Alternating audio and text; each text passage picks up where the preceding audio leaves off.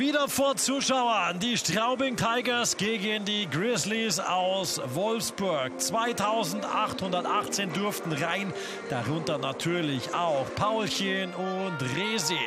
Zu Gast in Straubing Mike Stewart und seine Grizzlies, die von einem 5-0 Auswärtssieg aus Augsburg direkt nach Straubing kamen. Auch das Team von Tom Pokel gut in Form. 2 0 Sieg in München mit Philipp Dietl erneut im Tor, der 17-Jährige, der ja so stark und zu Null gehalten hatte. Der Auftakt von Straubing perfekt. 55 Sekunden gespielt und Ian Scheid schiebt gleich mal zur Führung ein. Eingeleitet von Mullerath und Jason Atkinson, der wunderbar in den Raum hier legt. Ian Scheid in den Raum hineingeht. Oh, das den Strahlmeier überwindet. In Unterzahl hatte Wolfsburg seine beste Chance. Im ersten Drittel Gerrit Fauser. Aber auch hier Philipp Dietl zur Stelle. So also 0 zu 1 aus Sicht von Mike Stewart und seinen Grizzlies nach den ersten 20 Minuten hinein ins zweite Drittel. Und wieder ein guter Start von Straubing. Marcel Brandt mit einer Bogenlampe und am Ende TJ Mulock, der hier nachstaubt zum 2 zu 0. Schwer einzuschätzen, deshalb auch schwer zu halten für Strahlmeier. Puck kullert dann wieder aus der Ausrüstung heraus. Und Mulock mit seinem vierten in dieser Saison, seinem 132. Tor in der Liga.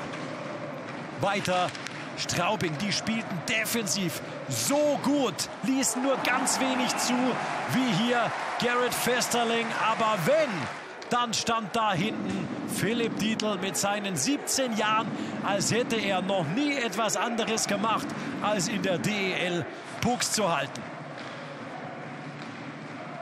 Viele Kleinigkeiten, die den Unterschied ausmachten. So zum Beispiel die Zweikämpfe wie hier und die Abgezocktheit im Abschluss. Sandro Schönberger, Straubings Kapitän in der 28. Spielminute mit seinem 10. Saisontor zum 3 zu 0.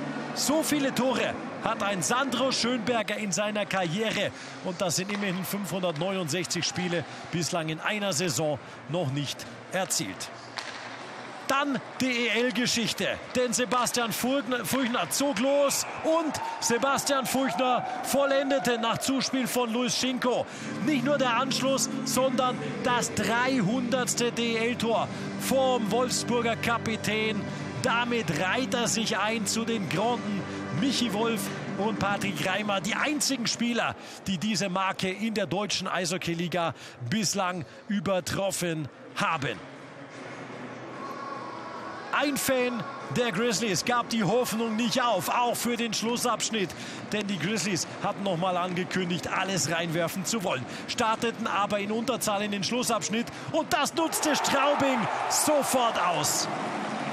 Nur 42 Sekunden gespielt und was für eine Kombination über Andy Eder, über Jason Erkesen und dann dieser wundervolle Pass von Mike Connolly und dazu der perfekte Abschluss von Travis St. Dennis zum 4 zu 1.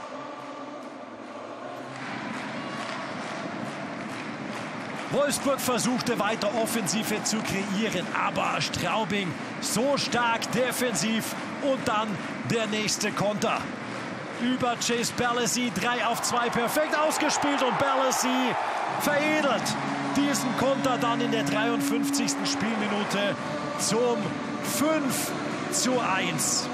Irgendwie bezeichnend, stark abgefälscht, Dietl aber da und in diese Situation hinein dieser Konter der Tigers. Damit die höchste Auswärtsniederlage der Grizzlies in dieser Saison. Und Straubing feiert drei ganz wichtige Heimpunkte.